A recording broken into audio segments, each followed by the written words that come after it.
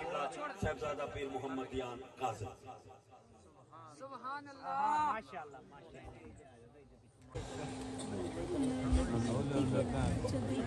चल खैर भाई।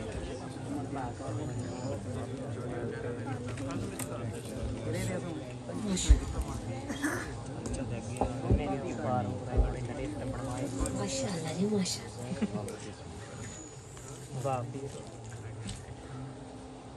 नहमदुहु व नुसल्ली व नुसल्लिमु अला रसूलिहिल करीम सुभान अल्लाह अम्मा बाद फ़ाउज़ु बिल्लाहि मिनश शैतानिर रजीम बिस्मिल्लाहिर रहमानिर रहीम वमा अरसलनाका इल्ला रहमतल लिल आलमीन सदकल्लाहुल अज़ीम इन्नल्लाह व मलाइकतहु युसल्लूना अलन नबी या अय्युहल्लज़ीना आमनू सल्लु अलैहि वसल्लिमु तस्लीमा सारे मिलकर पढ़ो, अस्सलातु वस्सलामु अलैका या रसूल अल्लाह सलामु अलैका या हबीब अल्लाह अस्सलातु वस्सलामु अलैका या नबी अल्लाह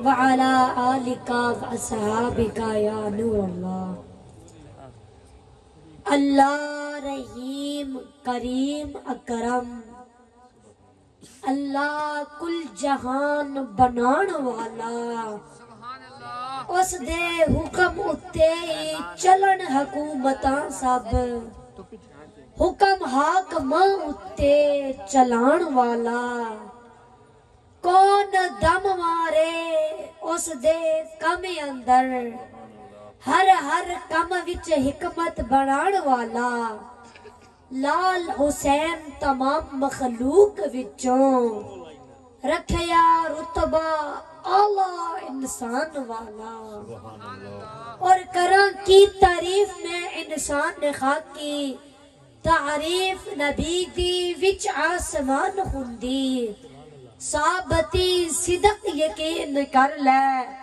शान नबी दी नहीं बयान हुंदी। और करा के तारीफ़ में इंसान ने खा की तारीफ़ नबी दी विच आसमान हुंदी।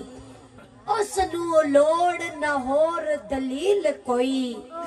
जिसने पढ़ी हुई किताब कुरान हुंदी। लाल हुसैन रसूल दा ज़िक्र करें ताजगी विच ईमान हुंदी। सुभान अल्लाह मेरे भाइयों और बुजुर्गो अस्सलाम वालेकुम व रहमतुल्लाहि व बरकातहू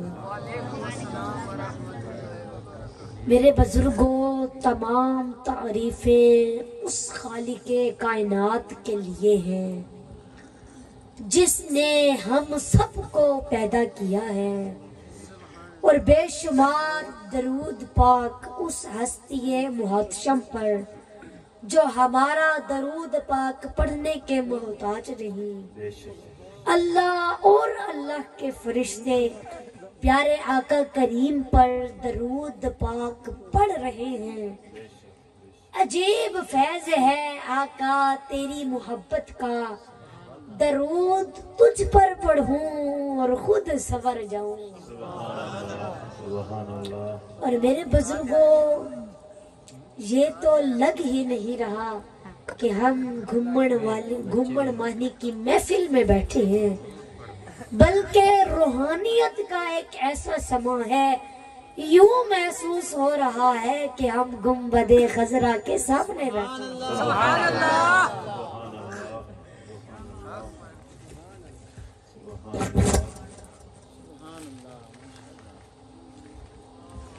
यूँ महसूस हो रहा है कि हम गुम्बदे खजरा के सामने बैठे हैं।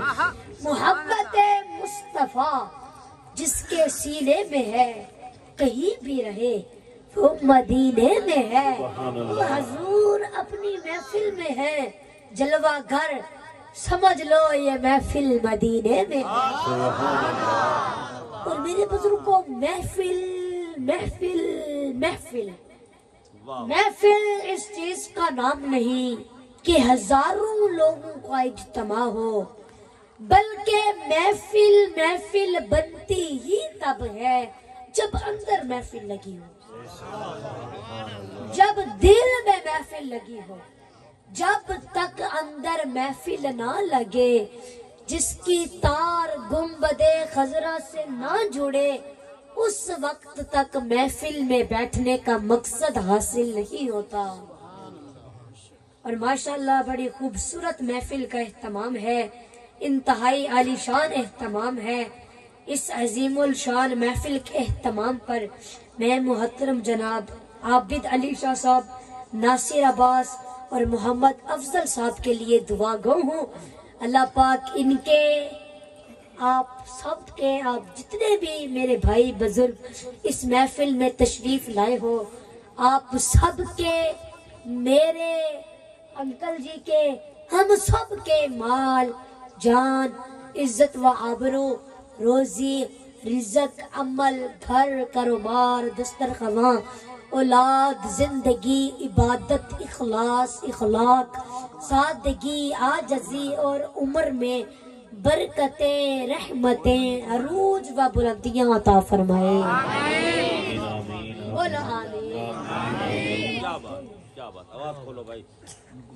और मेरे बुज़ुर्गों खुशबख्त और खुश नसीब होते हैं वो लोग, जिनको अल्लाह रब्बुल इज़्ज़त इस तरह की पकीजा महफिल में हाजिरी का शरफ अता करता है। और मेरे भाइयों, ज़िंदगी का वही वक्त कीमती है और वही घड़िया अच्छी है जो अल्लाह और उसके महबूब के ज़िक्र में गुजरती है। और मेरे करीम नबी ने फरमाया, इजा मरल तुम जन्ना फरताऊ फरमाया, ए मेरे सियाबा, जब जन्नत के बाग में जाओ तो फिर अपनी खुराक ले लिया करो। अपनी गजा ले लिया करो। तो हैरान होकर असहाब रसूल ने अर्ज़ की कि या रसूल अल्लाह सल्लल्लाहु अलैहि वसल्लम, इस दुनिया में वो जन्नत के बाग कहाँ पर हैं?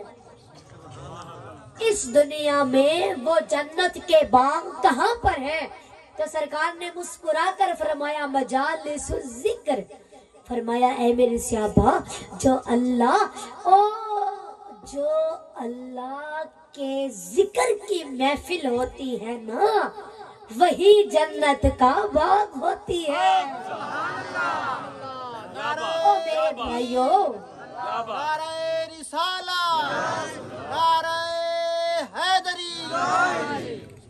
ओ मेरे भाइयों, जो अल्लाह और उसके महबूब के ज़िक्र की महफिल होती है ना, वही जन्नत का बाग होती है। तो अब इस हदीस रसूल के मुताबिक इस वक्त हम सब जन्नत के बाग में हैं। ओ मेरे भाइयों और बुज़ुर्गों अब इस हदीस रसूल के मुताबिक इस वक्त हम सब जन्नत के बाग में हैं और ये महफिल करवाने वाले बजम सजाने वाले ये हमारे मुहसन होते हैं।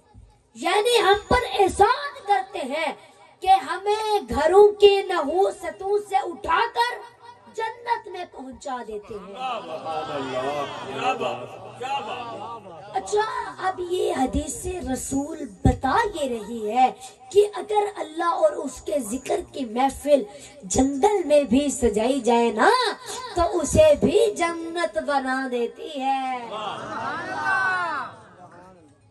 मेरे भाइयों और बुज़ुर्गों, अब ये बड़ी ही खुश नसीबी की बात है कि हम सब जन्नत में आए बैठे हैं।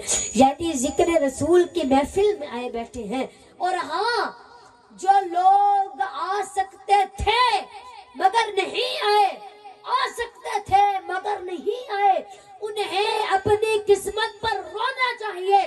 वो ये ना समझे कि हम महफिल में नहीं गए थे, बल्कि वो ये सोचे कि हम इतने बदनसीब हैं, इतने बदनसीब हैं, हम जन्नत में नहीं जा सके।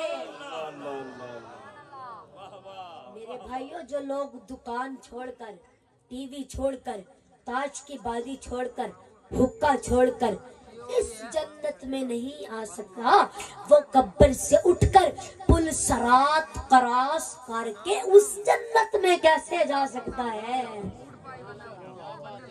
मेरे भाइयों एक बात याद रखना। भाई, तवज्जो फरमाओ, तवज्जो। ओ मेरे भाइयों, मेरी बात तवज्जो से सुनो। अब ना अल्लाह रब्बुल इज़्ज़त ने दुनिया में मस्जिद को और ज़िक्र रसूल की महफिल को दुनिया में जन्नत बना दिया है। तो जो दुनिया की इस जन्नत में नहीं आया, हालाँकि दुनिया की इस जन्नत में आना तो आसान है।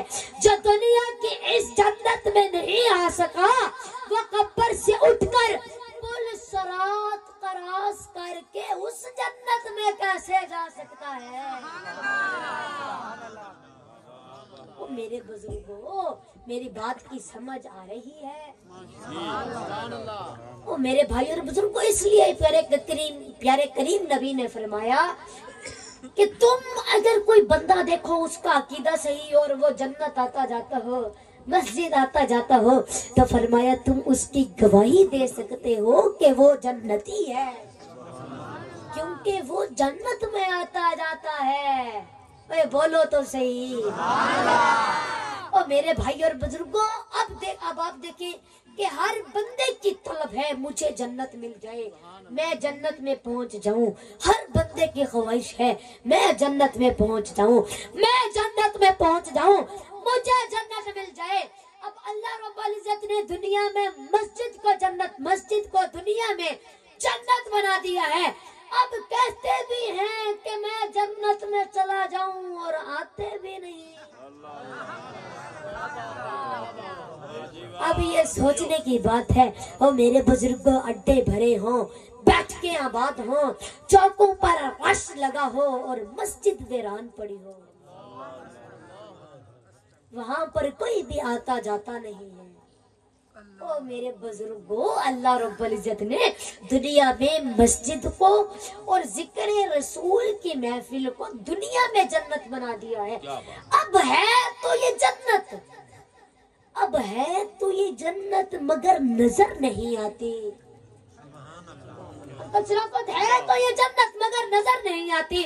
और मेरे भाइयों अगर अल्लाह पाक दिखा दे ना तो जो लोग नहीं आए वो भी सर के बल आ जाए। अगर अल्लाह पाक दिखा दे तो जो लोग नहीं आए वो भी सर के बल आ जाए। लेकिन अल्लाह फरमाता है मैं दिखा कर नहीं मनवाना चाहता। मैं सब कुछ अपने रसूल से सुनवा कर मनवाना चाहता हूँ। फरमाया मैं दिखा सकता हूँ। मैं दिखा सकता हूँ। मगर मैं, मैंने दिखा के बनवाया, फरमाया मैं दिखा सकता हूँ। अगर तुमने देख के माना, फिर वसीला आँखें बनेंगे। फरमाया मैं दिखा सकता हूँ, लेकिन मैं दिखा के नहीं बनवाना चाहता। अगर तुमने देख के माना, फिर वसीला आँखें बनेंगी और अगर सुनकर मानोगे फिर वसीला मेरा रसूल बनेगा नाराय तकबीर के बोलो नारा तकबीर नारा रिसालत नारा हैदरी नारा गौसिया, दोनों हाथ बुलंद करके ताजदार खत्म नबुआ